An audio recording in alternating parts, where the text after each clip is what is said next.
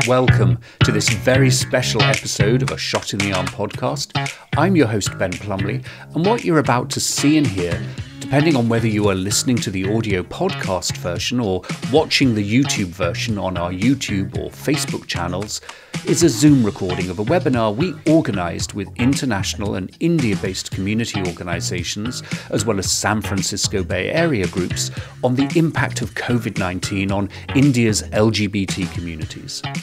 We tried to improve the quality of the Zoom presentation, but our goal was to make sure everyone could be seen and heard no matter where they are and no matter the quality of their internet connection. But it's harrowing and it's deeply moving nonetheless. In the show notes, you'll find links to organisations and other resources that would really benefit from our support and solidarity. Thanks for watching and listening. Good morning, good afternoon, good evening, and welcome to this very special event that is being organized by the Bay Area Global Health Alliance, by the San Francisco Community Health Center, Horizons Foundation, Parivar Bay Area, Frontline AIDS, and Alliance India. My name is Ben Plumley. I'm the host of a Shot in the Arm podcast. Um, I'm also a senior advisor to the Bay Area Global Health Alliance, and I'm also vice chair of the San Francisco Community Health Center. Now, this very special event is also being recorded live and streamed on YouTube, live streamed on YouTube by Diya TV, uh, which is America's largest South Asian broadcast television network. And we'll also be releasing this as a podcast, a Shot in the Arm podcast, later today. So, with that, let me hand over to our co host, Lance Toma, to begin the introductions. Lance, over to you. Thank you so much, Ben. And thank you to everyone for joining us at such short notice to this briefing on the impact of the COVID 19 pandemic in India's LGBTQ communities and how we in the San Francisco Bay Area can help by making connections to existing effective responses, particularly as it relates to Indian trans communities, with our very own stellar organization, Parivar, located here in the San Francisco Bay Area. My name is Lance Toma. I'm the CEO of San Francisco Community Health Center, our city's LGBTQ and people of color healthcare organization. We are San Francisco's leading provider of and advocate for HIV and related services, primary care, and support for LGBTQ people of color, and particularly the Asian and Pacific Islander communities, transgender communities, sex workers, and people who use drugs. You can find out more about us at San Francisco, sfcommunityhealth.org.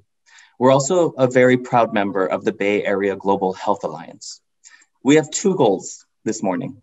One, to get real time information on what is happening on the ground in India about the impact of COVID 19 on LGBTQ communities across the country, as well as from those who are working directly with those on the ground. And two, to identify the most effective emergency responses currently being undertaken that those of us here in the San Francisco Bay Area through our networks and the community more broadly can support. Our co-hosts will make short introductory remarks and then we will hear direct, directly from Anjali Rimi, the president and co-founder of Parivar, an incredible queer trans South Asian organization here in the Bay Area Anjali will also be joined by Rachna Mudraboyina from Sital, Parivar's local India partner specifically focused on COVID-19 relief for Indian trans communities. And then depending on how much time we have remaining, we will open up the floor for questions and answers. Please feel free to put your questions at any time into the Zoom Q&A. Ben will moderate them for us. And with that, let me hand it over to Sarah Anderson, Executive Director at Bay Area Global Health Alliance.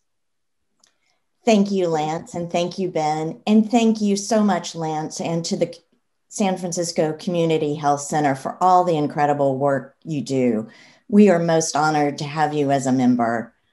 And just a little bit of background about the Bay Area Global Health Alliance. The Alliance is a Bay Area global health community with more than 50 members from across the sector, all the academic institution, major academic institution in the area, NGOs, community-based organizations, and tech, biotech, and other companies and private sector companies.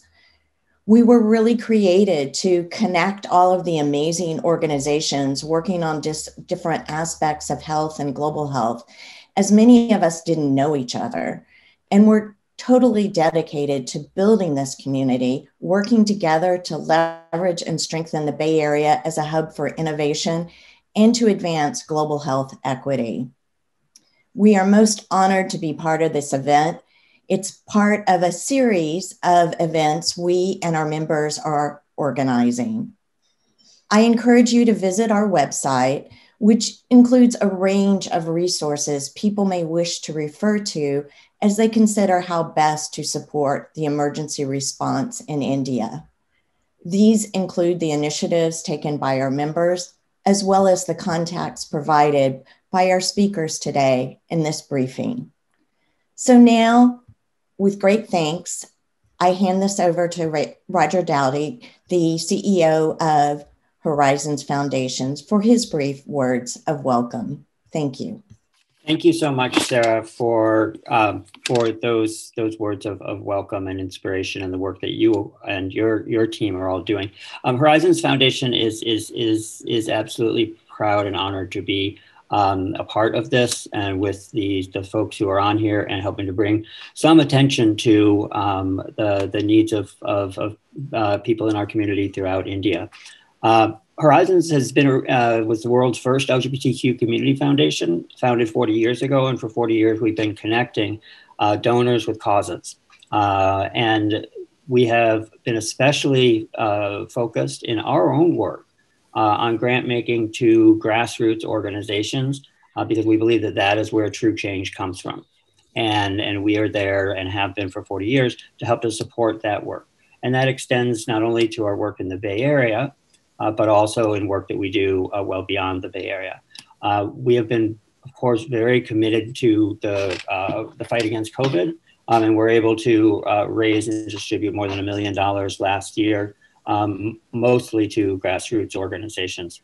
Uh, I'm just very proud to be partners with everybody who is, is here um, and look forward very much to hearing from um, the folks who are doing the work. And uh, with that transition, um, I will now hand it over um, with pride and friendship to uh, to uh, Anjali Rimi, uh, who is the founder, uh, as you heard, of, of Parivar, uh, to talk about uh, the situation um, on the ground and about Parivar. So, Anjali, over to you. Thank you, Roger. Good morning, good evening, wherever you are, folks. I'm Anjali Rimi, pronouns she, her, they, them. I'm the co-founder and president of Parivar Bay Area, um, the nation's first trans centering trans-led uh, South Asian organization that really centers uh, trans folks. I'm going to walk you through a little um, quick presentation, if you can bear with me here. Um, really still learning how to use screens, even though I've been on Zoom forever. Um, so Parivar came out of a necessity to really center trans GNCI South Asian folks. Uh, here's a little bit about us we were founded um, and really supported in our childbirth, if I may say, by San Francisco AIDS Foundation. So we're really grateful for them. We're located in Oakland. Uh, we have three co-founders, and I'm currently leading as the president. Our membership has been 600 plus. We've done over 40 events in the community. Our focus is very simple, and it starts with our tagline, Our Queer Trans South Asian Family. It's about celebrating our cultural identity, but not giving up on our gender and sexual identity and bringing all of that together. And some of the key things that we've had to do with the pandemic are around stepping up to start uh, co-found, co-founded and are leading the SF LGBTQ COVID Relief Coalition, uh, where we raised over $160,000 and helped over 8,000 people here as well as back in India and generous donors and funders such as Horizons Foundation, partners such as the SF Community Health Center, really were part of this conversation and Uh, some of the other things we believe in and we want to build is about changing the narrative of trans hijra folks and trans folks everywhere. So you won't see in this deck any sad pictures, or you, we're not going to talk about the. Ch- we will talk about the challenges, but we will give you the solutions around that. One of the key things that comes out of that is Parivar Bazaar, which is a full fledged e commerce site we launched earlier this year that sells products that are made, sourced, touched, finished by trans folks that are based out in India, from saris to home decor to jewelry, like the earrings I'm wearing. Um, and we were going to go for a big launch. So, coming out of wave one, Parivar was partnering very closely with our four organizations that are part of the Parivar. Um, and I should clarify, I should also delineate that Parivar means family, uh, in Hindi and a few other languages. So, you know, it would be remiss if we didn't have our family from India included. So, while we have efforts on the ground here, um, like holding trans prioritized vaccine drives as we came out of the pandemic, we started helping the folks in India rebuild, rebuild with uh, trans entrepreneurship, uh, with Aravani Art Project, Trans Equality Society, Maitri Sanjog, and Transvision. And uh, Rachna Mudraboyina, who'll speak in a second here, uh, is part of Parivar since the beginning. Uh, I'm really, really honored to work with her for about uh, five years now. She's been doing excellent work across India for over 20 years. And so we thought we were out of it. We were out of the first wave, we are rebuilding, and we are good to go. And then second wave hits. So we started with our with our organizations on the ground, and overnight we had about 20 more organizations reach out because the situation was so dire for oxygen, for hospitalizations, for food, which became the most critical one. And last year we did do food distributions, but it, it allowed us to be sp- spreading it out and it allowed us to be a little bit more um, aware that our funds are always limited. I mean, you notice that we have existed only since 2018. So our funds are not surplus and they're not flowing. But we did raise 15,000 the first year. Last year we raised over 160,000. And this year we are needing 1.6 million. And that's where I think Seetal comes into play. Um, can you see my screen full screen or did it spit out? Uh, all right. Uh, so Seetal. Seetal is Save Indian Trans All India Lives. And it is a grassroots COVID relief effort that has now become a strategic long term plan that we need to address in India. Um, it is spanning across 20 states, 47 CBOs, and 53 communities. Wherever you see the little check mark is where we've been able to reach folks at least for one food drive, at least for one food distribution. Each food kit is about um, 1200 rupees uh, to 1800 rupees. So that's like a dollar or two and lasts a person for about 10 days. We've had to split that food kit because we did not have the cash flow um, because our primary source of funding is GoFundMe. And we are yet, we're waiting for those funds to be released because we don't get access to those until after the 25th of the month. A few folks have stepped forward, and we have put forward all of Parivar's operating money to take care of this. So far, we have spent over $45,000.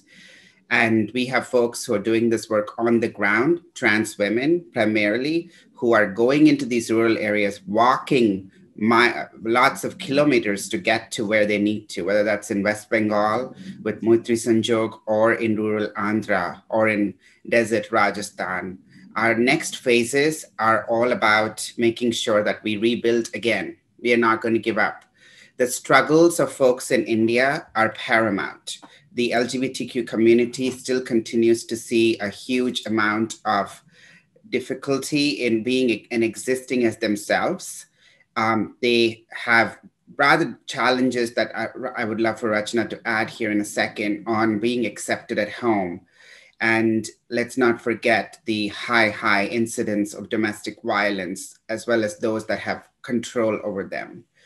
And what we want to also delineate to you is the difference between trans and hijra. Hijra is a very close knit cultural identity, and there are specific norms around how to exist within that community and even us as trans folks do not have access to some of those communities as we're trying to do this relief effort. So there's a whole level of diff- different dynamic that we need to play out to and the respect rachna holds is really paramount for us to be able to access those communities and support them uh, and have their confidence. Um, you know the Hijra trans communities are relegated to asking for alms, which are unfortunately coded as begging, but we're not begging, we're asking for alms and giving you blessings. And we were revered as gods and goddesses before the colonization happened. So when you take away livelihood, it really takes an impact on mental health. And we've lost some folks to actual self harm um, before COVID could even get to them. And what do we want to do moving forward? Um, we want to rebuild. This is what Parivar exists on. This is what we did when we came out of the pandemic. We had paper plate making machines, eyebrow threading, vocational training classes. Our Art project is all about giving the option to trans folks to walk away from sex work and begging if that's not what they want to do, and um, do uh, become artists with a stipend. You see fruit, uh, vegetable vendors, uh, sewing machines. That some of the saris, that sari that you see being sewn is actually on our website if you want to check it out. So we want to believe that there are problems, but we want to strive towards all of building equity, health equity, economic equity, information equity, social equity, and housing equity. Trans and Hijra folks are pretty migrant. So right now, we show up in a particular area and there's 200 people instead of the 30 people that we know existed there um, or got the list and their names. So the that's our goal. It's a long-term goal and hence you know we are really looking into this about building network and grassroots. One of the biggest frustrations that I continue to voice while all of the Seatal warriors do all of this work with a big smile, including Rachna, is that there is so much effort happening in India by big foundations, large corporations with last mile delivery using their networks and infrastructure and technology. And not one person or not one company has reached out or has asked the trans Hijra community, what do you need? Can you please be included? We, uh, we had, I had to go on live on IG yesterday because there is a trans woman who's running India's first trans orphanage intersex babies, trans kids thrown to the streets, and she's taking care of them. She had no milk we had to go on IG and I had to scramble and send her funds. And she's part, she's within our network, but again, we're, we're onboarding her because we want to make sure that the funds are going to the right place and being spent in the right way. Um, so that is Seatal. That is um, what we're doing. It was never intended to grow to this scale, but here we are needing to do for our trans community by the trans community, but we take care of everybody who's marginalized and whose voices need to be heard. Um, I'd love for Rachna um, to jump in and share further as she's on the ground as the chair of Seatal, driving the entire operation. She's a tough, tough um, chair, I must say. She's very particular about everything being in order. So um, she's spent many, she's, I don't know how when she sleeps, um, but over to you, Rachna. Thank you. Nice seeing you all. Namaste and a rainbow greetings for all of you. So um, when we started this Seatal campaign, uh, the situation was very worst on ground because the, all the working class trans people and Hijra, Kinner, all the groups have been troubling with all the night lockdowns and night shutdowns, curfews and everywhere. So the main livelihood of uh, trans people who are mostly depend on begging or sex work have shut down. And that's how many people have no income, no money with them, and they all have been very quickly thrown to poverty. So this situation has made added much fire to the worst condition uh, which already has been faced by uh, trans community. So what we thought is like there are number of issues like uh, the scarcity of testing kits, the scarcity of oxygen cylinders, now it has been. When we started, it was a lot of scarcity was there. Uh, the scarcity of uh, ventilations and the scarcity of also quarantine centers. Now, of course, nobody is talking about uh, quarantine centers. It's isolation centers now. So what we thought is that we approach the gra- ground communities like what is the need. Then we addressed a lot of uh, infection rate is high, and they are all home quarantined. And because there is a very small space they live in, and that's very troublesome, and the transmission is in a huge uh, range, uh, higher range, and in a small room, seven or eight people stay together. That's how they are more vulnerable for the to the infection. The main task, main um, challenge we have seen is that if everybody is troubled with infection, who will cook for them? Where do they get food from? And if their livelihood has been stopped, where would they get food from? Then we thought that we should feed our people first. We should feed our brothers and sisters, trans brothers and sisters. And that's how I like I asked Anjali for help. And very luckily she has chipped in and and we have started this. Though we have started in COVID one first wave also such campaigning and such uh, helping with food kits, but this second wave has been so harsh and so inhuman on trans community because there is larger rate of transmission, there is larger rate of, uh, you know, um, larger rate of like not being taken the issue as in the right way because everybody talk about oxygen cylinder, everybody talk about ventilation, but nobody talk about the food which has to be fed to the trans people daily. So uh, last in the first COVID wave, we got a lot of help, including Anjali Parivar and everything. We got a lot of help. But this time, we are helpless because everything has been uh, concentrated on infrastructure, emerging the systems for uh, to fight with, like ventilations and all these systems, infrastructures.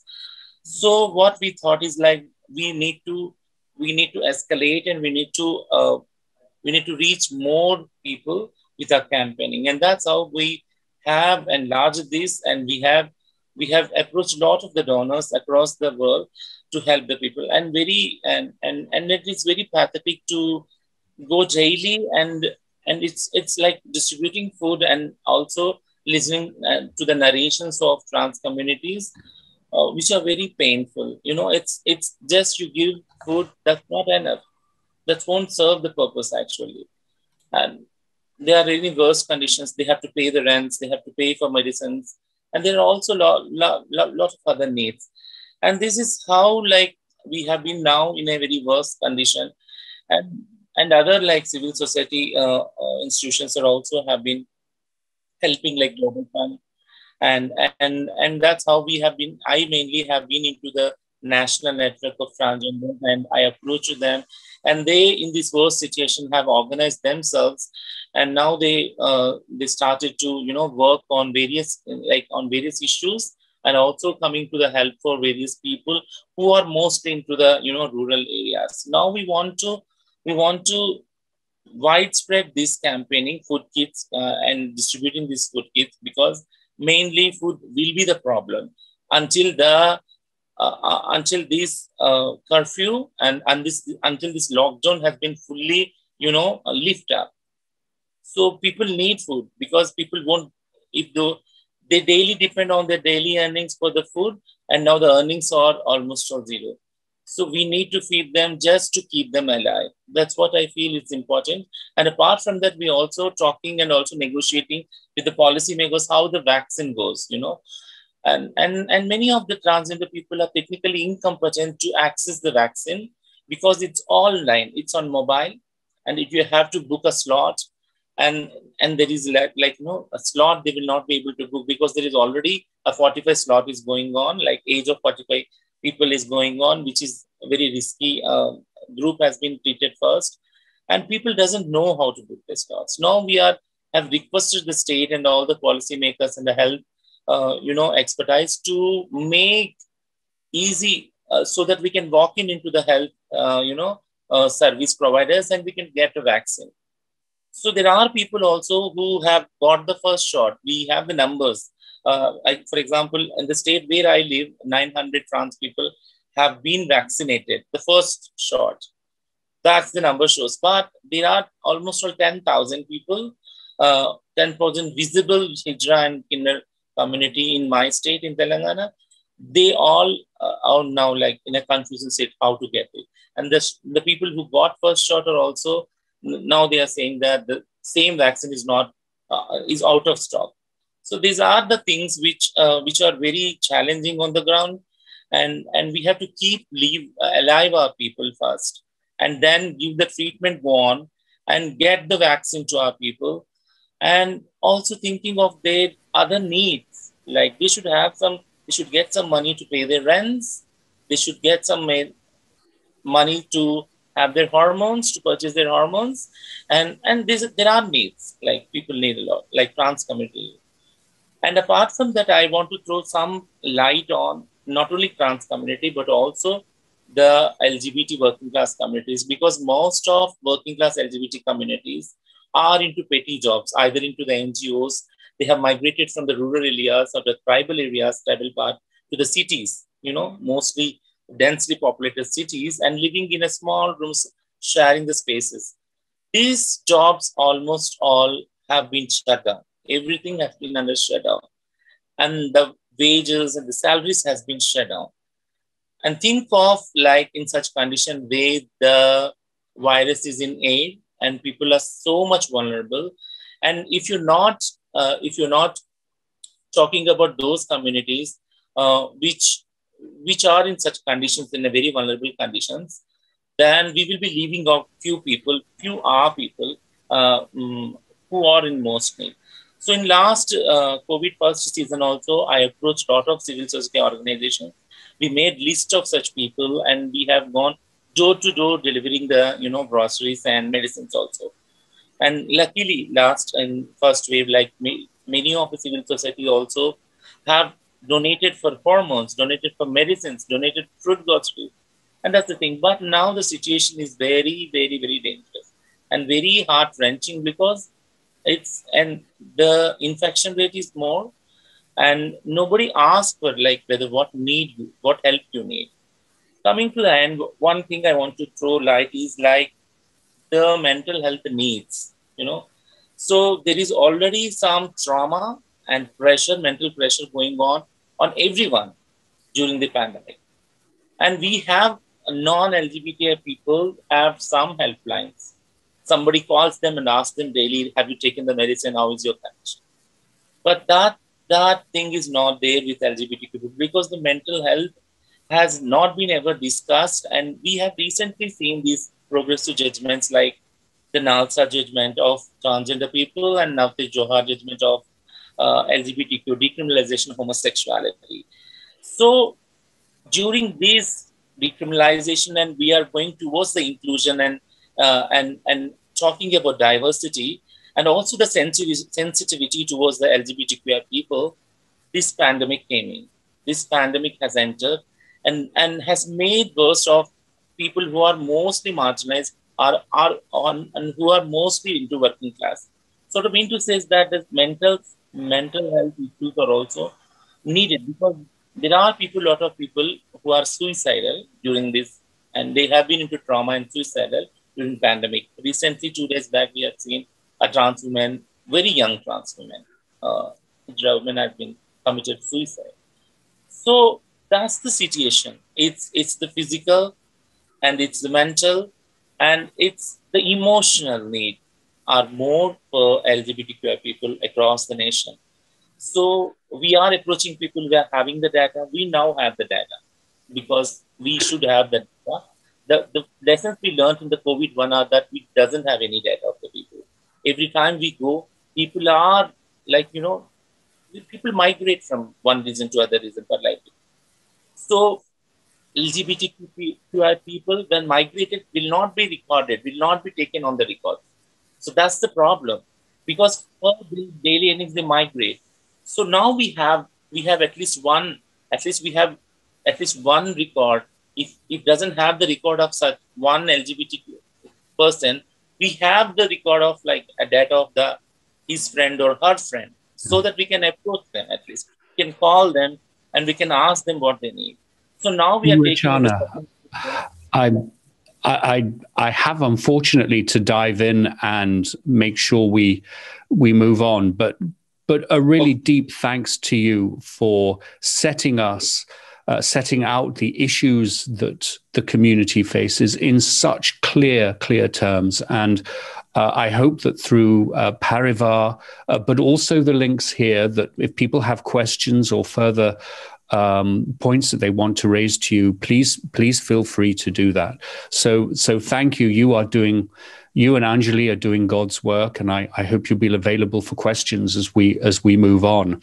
But um, I, I, now want to turn to the uh, broader international response that has been mobilizing, um, and it is a a huge huge honor for me to uh, invite another of today's co-hosts, um, the uh, Frontline AIDS Organization, which is an extraordinary group. Uh, I confess I've known them since the mid 1990s, um, and Frontline AIDS has been really at the forefront of building community responses to the AIDS response. Um, they've been out here, they've met with Roger, their executive director, the executive director, the incredible Chrissy Stegling has visited San Francisco, met with community based organizations, including Lance's on a number of occasions. And, and we're also very honored that. Um, one of their board of trustees, who also happens to be a member of the uh, board of the Bay Area Global Health Alliance is Purnima Mane, who um, I often refer to as my partner in crime, and she's gonna she's gonna get me for that. But still, I'm really thrilled to pass on the virtual mic, as it were, over to Divya Bajpai, who is Director of Programs at Frontline AIDS, to talk us through the international response to, inter- to India's LGBT COVID crisis, what Frontline has done, um, and then for her to introduce her colleague, uh, Ashim Chawla, who seems to know everybody on the call anyway, but Ashim is the CEO of Alliance India. So, with that, um, Divya, if I could ask you to unmute, and the floor is yours. Thank you. Thank you so much uh, for the lovely introduction, Ben. Um, good morning, everyone. Uh, good afternoon or good evening, depending on where you are. Um, it's a real honor to speak at this event um, and to share what's happening in the global response and give you some examples of some good collaborations that we've had in order to be able to respond. Um, so just to remind you, um, I'm Divya. I'm the Director of Programs at Frontline AIDS. Um, we are a global partnership. Uh, we work with over 100 national um, and local not-for-profit organizations. Um, and we work together to focus on ending AIDS. And my organization based in the UK convenes this partnership, uh, working with partners such as Ashim's organization, um, Alliance India. It's around catalyzing local action on AIDS. So it's a real pleasure to, to be with you today. Let me start personally. You know, I've been, in all the years that I've been working on HIV and on LGBT issues and focusing on India, which is over 20 years, I really have, can't remember a, a situation like the one we're currently in in India you know, as a second generation Indian woman uh, based in the UK, I can't begin to explain this overwhelming feeling, this need that I have to do something to respond. I don't think I've ever felt this way to such a degree. Um, and, and I think it's come hearing from family members every day. I'm on the phone to family members, to friends, to colleagues, you know, who are really bearing the brunt of this horrendous second wave and it's kind of taken over my headspace, my emotional space. It's taken over everything. Um, so just having the chance to speak and to and to share um, is a real privilege and almost a, yeah, it's helping me kind of respond in the way that I desperately want to. Um, so you know, as Frontline AIDS, we've been working, and I was working very much since the late 1990s on working with Indian partners, working with HIV. Um, and it started out with helping to set up grassroots uh, community based care and treatment programs for people living with HIV. And then HIV prevention programs with LGBTI groups and other marginalized communities. And it's such an honor to share the stage with Ashim from Alliance India. He'll give you much more of an idea of the what's happening on the ground. But what's very clear, even sitting where I am, um, in the UK is that there's this urgent need for support. We all feel it. We've been speaking about it, um, and and what what's coming across is that what's being provided at the national and local levels. And I'll tell you a bit about what the response has been. It's, it's practically impossible for LGBT groups and other marginalized people in India to access it. Um, I think, you know, uh, Anjali, you spoke to it, and, and, you know, it's very, it's very clear that it's very hard for LGBT communities to access, you know, the, the vast levels of support that are being sent over to, to India right now. And, and it's not just about the medical support that's being focused on, that's needed. I mean, it's about livelihood, it's about safety and security, it's about food support, um, and we've been able to mobilize emergency grants um, as frontline aids to support um, these local initiatives through Alliance India and our network of local partners. So thank you so much for opening up this space for us. Uh, let me tell you what's been happening out there in the globe, you know, in the world in response to this. There's been so much global media coverage, and I'm sure you've all seen it, and it's clear that India is struggling, like the UK was not so long ago, to respond to the second wave of COVID. You know, and donations have been flooding in to help India fight this latest outbreak of COVID from around the world. I mean, last count, over 40 countries provided support, including from the USA, from the UK, Canada, um, you know, Singapore, Thailand, you, you, know, there's been a lot of, of support, uh, but the focus has been very much on providing funding and donations of emergency medical supplies um, to support what is becoming a collapsing health system in India. So the focus has been on hospitals and medical and oxygen supplies. And um, so people around the world have raised millions for India, but in many cases, um, the money is being held up or is not reaching those most in need. And um, previous speakers were referring to that. And what's not helping is a new law that was passed in September last year, uh, which effectively prevents local NGOs from redistributing donations to smaller community groups. Um, there's a very strict kind of registration that's in place. So to find eligible community groups to be able to provide the funding is provide is proving to be a real challenge. And Ashim can speak to that um, later. Um, in terms of the diaspora, and I'm a member of the Indian diaspora, you know, millions of us in the UK, in the US, and elsewhere have mobilized in response to the second wave. And that includes sending emergency supplies to our family members, you know, oxygen canisters, or, you know, um, mobilizing grassroots domestic emergency efforts, doctors providing peer advice to doctors and health workers in India, people pressurizing their governments to provide emergency relief, or in the case of the USA, to lift vaccine patents. And there's many examples in the US, the UK, Canada, where that's happening. And but yeah, where, where I'm feeling there's a gap, and perhaps um, others can correct me, but you know there hasn't been that focus on supporting LGBT emergency funding in these appeals. Um, there are LGBT focused emergency fund appeals for COVID, but again, India isn't necessarily specifically, it's not the specific target. So overall, I think the end result is that out of all the support that's coming internationally, it's focusing on the general public and it's providing medical support and strengthening hospital responses. And not much of this is addressing the needs of LGBT groups and other marginalized communities.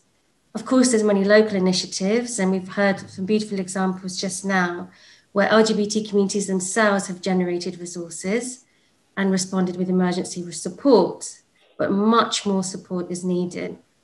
Um, frontline aids, um, just to finish, like we have systems in place and we're able to respond through our network of local partners who are able or are eligible to receive funds from these government requirements but can provide direct support to LGBT communities. Um, and this is ensuring that, that there is continued access to life saving HIV care and treatment and prevention is sustained, as well as ensuring that the immediate life threatening impacts of COVID and of the lockdown situations are being minimized in India for LGBT groups. And with the Elton John AIDS Foundation, for example, we have a very good partnership with them. And last year, they funded us to help manage their second wave of COVID 19 emergency funding. And that was to reach LGBT communities and other marginalized populations. I think that, um, in combination with other donors, we were able to uh, disperse around $1 million of community response funding and to uh, across Africa, the Caribbean, and Asia. And this is where that combination of EJAF having um, tapping into different audiences alongside our partnership and our footprint and our reach to be able to reach LGBT communities and other marginalized communities really helped us kind of catalyze that emergency response. Um, and of that $1 million that we, was, that we were granting, we were able to grant 62% of that to primarily LGBTQI um, communities, so as well as people living with HIV, sex workers, and people who use drugs. And we were able to grant to over 40,000 individuals. Um, and similar to what we're hearing today, the majority of that funding went to food and shelter for individuals, as well as ART, adherence support, and mental health and counselling support, as well as you know the prevention of uh, PPE, information about prevention, hand sanitizers, um, and home management and COVID 19. So, really, what's happening is, is that community organizations are designing, managing, and, and, and delivering these emergency um, support, and we keep in close contact with them because obviously the situation is changing so fast. Um, so, it's about helping them kind of adapt to the evolving situation. Um, so, really, to end, I suppose, emergency funding can reach those organizations in India who are innovating and responding in real time to the needs of LGBT groups um, in India. And it's a question of knowing how to access the structures that are already in place to get to those hardest to reach individuals. Um, because, you know, otherwise there are blocks, but there are ways to overcome those barriers. Um, so thank you again. It's been a real privilege to be a part of this. And now it's a real honor and privilege to hand over to my colleague Ashim Chawla, the CEO of Alliance India. He's going to talk about what Alliance India is doing, what the challenges are that they're facing um, on the front line of COVID and HIV, and how they are meeting all those challenges. Thank you. Hello, everyone. Uh, my name is uh, Ashim. Uh, I was just introduced as the Chief Executive of Alliance India. Uh, we are India's leading HIV response organization in existence for over 20 years now. Uh, we were established by the International HIV AIDS Alliance, uh, which uh, is now known as Frontline AIDS, where my colleague Divya works. Uh, and uh, we are part of the partnership, the global partnership of Frontline AIDS, uh, as a partnership organization ourselves, uh, we combine the strengths of 250 uh, grassroots collectives across India and the South Asia region. Uh, these are uh, collectives of people living with HIV and AIDS, but also uh, groups of people who are, you know, who comprise of the LGBTQ community or are from, say, the people who use drugs constituency or key population groups generally, sex workers as well. Uh, we work with these communities. We also work with the government. Uh, we work with Indian corporates. We work with UN bodies. The Global Fund is a big ally for us and other donors as well. Uh, and our main objective is to make HIV and AIDS a disease of no consequence. I know we pledged that we'll end AIDS by 2030, but uh, the stubborn and slow pace at which uh, infections are reducing, uh, that's not going to happen. So, so we'd much rather be pragmatic and say that we'll try and make it a disease of no consequence. Uh, we have a very strong focus on care and support. Divya started the story many, many years ago. Um, and uh, our uh, emphasis is to support the 2 million odd people who live with HIV in India to ensure care and support ART adherence for them. Uh, and this is also the world's largest community-led ART adherence program. So it's quite massive uh, and complex. And we have a separate gender sexuality rights unit, which works on the issues of trans men and trans women, uh, their health and well-being in particular. We also run testing and health services for the LGBTQ community, particularly for men who have sex with men. Uh, and, uh, and we also work with people who use drugs and advocate for their needs and use harm reduction principles. So that's us generally, uh, a very brief introduction to who we are and what we do.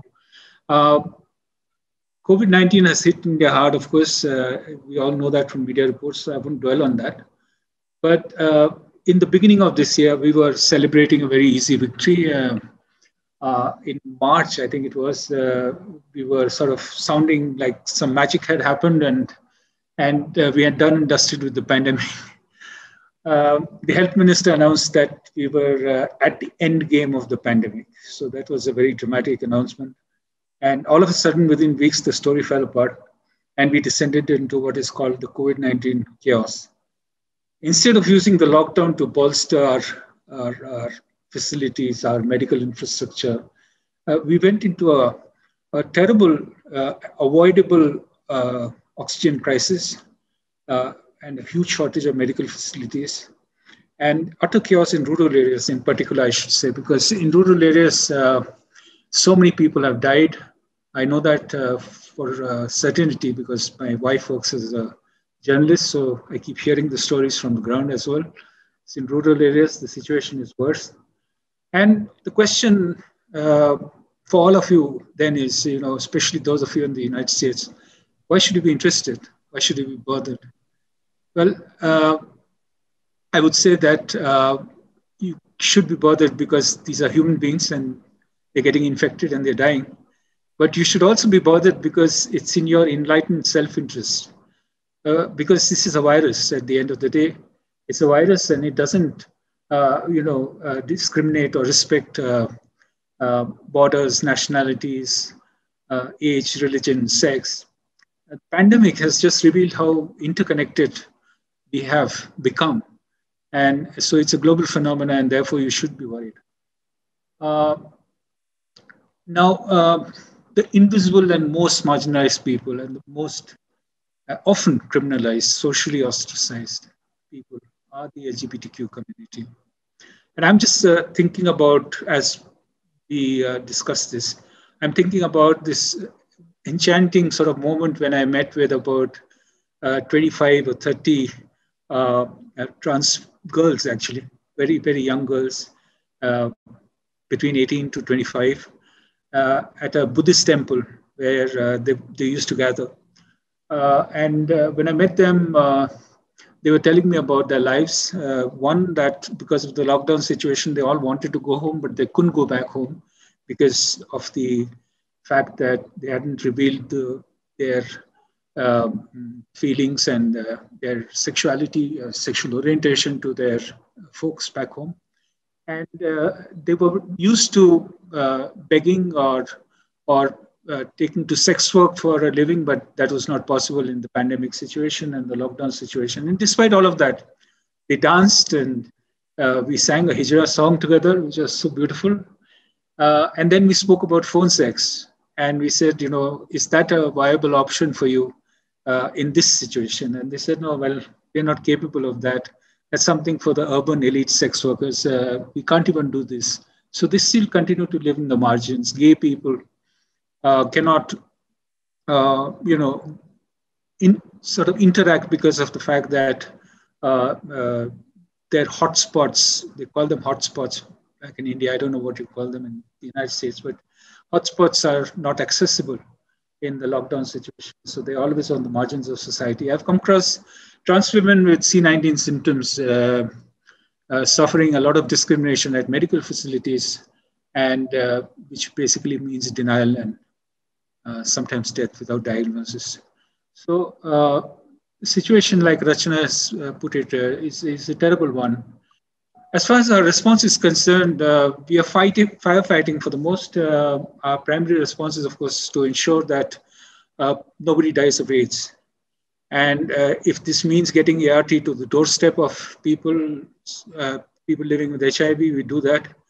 Uh, if it means uh, making sure that everyone has, uh, you know, basic uh, safety and hygiene kits like soap and sanitizers and masks and gloves, then we make sure that everyone has that. so we've been running very big programs. Divya mentioned the Elton John AIDS Foundation uh, relief operations, yes, that was uh, also carried out by Alliance India. And uh, we, apart from, you know, distributing food rations to vulnerable communities, we also arrange COVID-19 testing for the marginalized. But the Global Fund, I would say, is the biggest ally for our efforts uh, this far. Uh, recently, I don't know if you read it in the news, but uh, the US government uh, made a, a, donation of 3.5 billion US dollars to the Global Fund to fight COVID uh, internationally across the world. And the Global Fund has made available 150 million US dollars uh, to India. And we hope to get a small bit of this kitty uh, to make our response more, to make it run deeper. But these efforts are never enough. it's never enough to uh, you know, uh, respond to the needs of such a huge country like India. What I would say uh, in the very end is that it's very surprising that there is hope despite the chaos and pandemonium that's all around us, that you know the, the rich and the middle classes who have been hit the hardest, uh, uh, their generosity index hasn't dipped, which is quite in, interesting and, and something that I pondered about a lot. Uh, so we run a fundraising campaign called End AIDS India. And End AIDS India has managed to uh, keep itself above waters, which means it still continues to break even. And we get amazing donations from individuals. Uh, the elderly, especially, they tend to give a lot more than others. And uh, we are able to use this unrestricted money for emergency needs of the LGBTQ community. Our biggest cheer, of course, goes out to the large cadre of community workers. It's phenomenal. I, am sure uh, Rachana would uh, echo this as well. That uh, you know there are people who are willing to go out there in the field, not stay at home and feel safe, but willing to go out there in the field and uh, do what it takes uh, to put themselves in the firing line and and bring uh, some support to uh, the trans community and other members of the LGBT community. so there's hope, I think, uh, in this crisis. I think there's hope because uh, we deep down seem to care, and uh, it seems like we'll survive just because of the fact that we care for each other because we are interconnected. So thank you very much for hearing me. Uh, it's been a pleasure and a privilege and an honor. Thank you. Ashim, thank you so much. And thank you for everything that Alliance India does. You, know, we're going to end this uh, session on a spirit of hope because I think one of the things that we've learned from the AIDS movement is that we have no option but to hope. We have no option but to do the right thing and um, and support our brothers and sisters, no matter where they are. Now, there is one question that I think we can answer before we wrap up and uh, Rachana and uh, Ashim, I guess it's really uh, uh, targeted to you as you know you've spoken about the the pragmatic challenges that many people are facing but have you seen um, the uh, government and authorities uh, using this as an opportunity to further discriminate against trans, hijra, and LGBT communities. Um, and uh, Ashim, maybe I could start with you first and then just ask Rachana to comment. Well, sadly, uh, yes. Uh, and uh, I wish this wasn't the case, but the institutionalized discrimination has only heightened uh, during the period of the pandemic.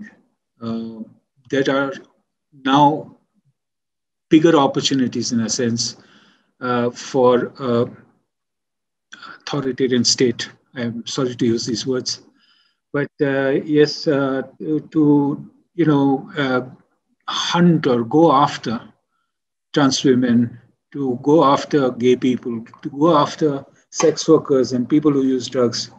And, uh, and, and they are suffering a bad fate. Uh, they've been beaten up. They've been, uh, you know, stopped from uh, their means of livelihood. And it's unfortunate, yes, but I have seen it. Rachana, would you like just to make a couple of quick comments about that? Yeah, the quick comment is as I previously said in the first wave, we have seen that government doesn't have data. So they don't know how many trans people are there. We have a law, like, you know, old data of 2011 of population census, and based on that, they were not able to reach the community. The thing is, so that's that's the systematic institutional stigma towards trans people that they are not aware how many people are there. Then how will be they reaching the people? You know, so so that we doesn't learn. That's why we have chip in into and that's we make our own systems the second thing is like, uh, do you have any stigma and discrimination? Like, so every state have every state have the discrimination, and every state have such uh, uh, thing uh, uh, phobias towards LGBTQ people. But the thing is, like we were uh, like in the last COVID uh, first wave, we have we have litigated. I am also working with Human Rights Foundation. We have litigated eight high courts, and eight high courts in the, across the country have asked the data and also and have a very beautiful order saying that without asking any single identity, social entity, you have to give food, medicines, HIV, HIV medicines, ART, and everything, fruits and vitamins, everything. Trans people do not have any identity, but you have to give. The thing is, like, we are emerging with the ways of how to be also engaged with repression and also the oppression in our own ways, you know. So that's the situation. Thank. Well, with that, I know we've had a plethora of questions. Uh, we'll be able to come back to uh, some of these, I think, by text and connect people directly. Um, can I hand over to Lance Toma to wrap us up for this event? Because I promised everyone we would end on the dot of nine uh, Pacific time. And um, thank you all for, for, for joining and giving us time and being part of what will be a family in uh, the response to this. So, Lance, over to you. Thank you, thank you, Ben. You know, thank you so much, everyone, uh, and especially to Rachana and Ashim. You know, being on the ground, you are brave, brave, brave warriors you are doing everything that you need to do. We know this, as Ben was saying, from the HIV epidemic and homophobia, transphobia as LGBTQ organizations. We know this so well. And now with COVID 19, we know that this doesn't stop and it just gets worse. And, and it's going to take everything. And I just appreciate everyone on this call that is really thinking about how we need to be in solidarity, to your point, Ashim, um, that it, it, it's a global pandemic and we will only get to the other side of this pandemic if we are all all working together and in solidarity. Um, you know, Ben, you shared uh, with us on the chat resources about these remarkable organizations, Parivar, Frontline AIDS, and HIV AIDS Alliance India. You know, this is a crisis um, and it will not pass with the next news cycle. And to make a difference, uh, it, and to for us to get to the other side of this global pande- pandemic, especially for our LGBTQ communities in India, it will require solidarity and support from us here in the San Francisco Bay Area in certain ways, many of us we know here on the ground in San Francisco, we are facing some similar challenges. At San Francisco Community Health Center, we are on the streets. We have seen the need to provide food, basic hygiene kits, harm reduction supplies, and of course, the mental health support that is so critical. We just know that that is what is taking the lives of many of our LGBTQ community members and our trans uh, members in particular. Um, and so those served by CITAL, uh, Frontline AIDS, HIV AIDS Alliance India, we, we, we feel this and we know this well. And uh, it's the spirit here in our San Francisco Bay Area and San Francisco Community Health Center that we welcome everyone and we make sure that those at the margins are front and center. We never leave anyone behind. We know that everyone is family. We do our best to support each other no matter where we live, no matter the color of our, of our skin, who we love, our gender, identity, our sexual orientation. I just want to thank everyone who joined us uh, at this briefing, to all of our co-hosts, our magnificent community leaders, uh, and of course, uh, Ben Plumley, thank you so much for, for organizing this on such short notice. Thank you, thank you, thank you, thank you. Uh, please, everyone, have a great day, have a safe day, and please be well.